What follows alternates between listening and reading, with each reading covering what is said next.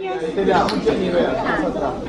Bueno, escuchá, escuchá, vení, escuchá lo que dice el señor, vení.